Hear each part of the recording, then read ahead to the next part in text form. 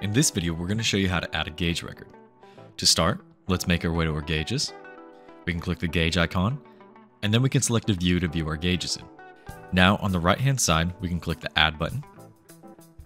And then here we can start adding our gauge. We can enter the last and next calibration due dates. We also have certain fields like control number, serial number, and asset number. Those are going to be our unique identifiers for our gauge record. These cannot have duplicate values, so we want to make sure that we don't have any of those.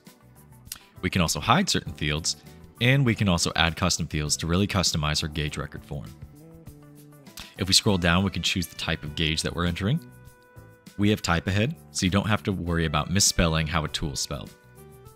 We can also select it from a list, or we can add another one if we're an admin or an owner of the account. We can also add additional values and delete values in general settings. On the right hand side, we can add an image of our gauge record.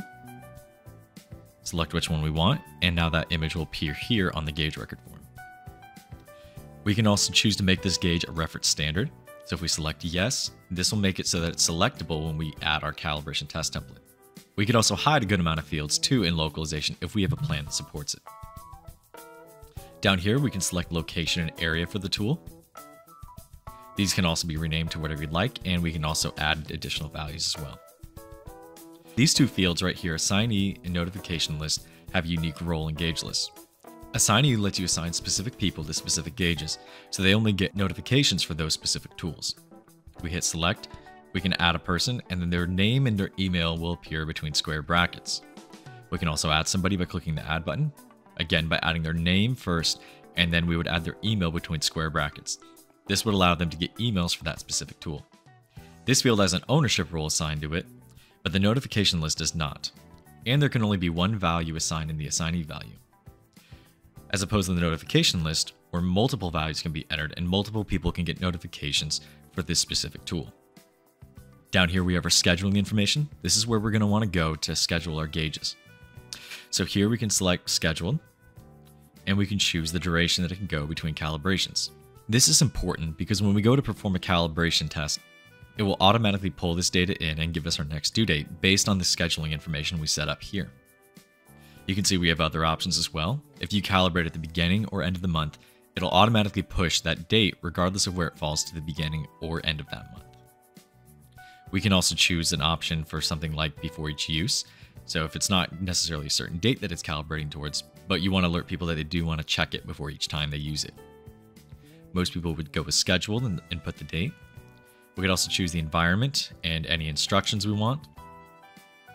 And we could also upload any attachments as well. It's important that we don't upload a calibration certificates here. We're going to want to create a calibration record that holds that certificate so that has a unique identifiable traceable record for that calibration certificate. Down here, if we're doing a test internally, we can create a calibration test template. So we'd select yes. We could copy it from another gauge, or for setting it up for the first time, we could build out our test points by adding additional rows. We could add the nominal, minimum, and maximum values manually, or we can use Calculation Assist if we have that set up in our general settings. If we do, this cog icon will appear. We'll click that, and then here we can enter our test points. So if we're testing at 2 inches, we could choose range or spread. Range, we would have to enter the minimum and maximum values based on the tolerances. But if we do something like spread, well, that can calculate it for us. We get to enter our tolerance. And then I'm going to copy it and paste it over into our plus tolerance and select the units of measurement. And then it will give us our minimum and maximum accepted values. We could even test this. If we put in something that's outside of spec, we can hit test. We see it flags it as incorrect. But if we select the nominal value, we test it again, and we can see it did pass. So we could do that very quickly to build out our test templates for each of our test points. We do so for the next two. Now I'm just going to paste in our tolerances and then select our units of measurement. And then I'll do it for the last one.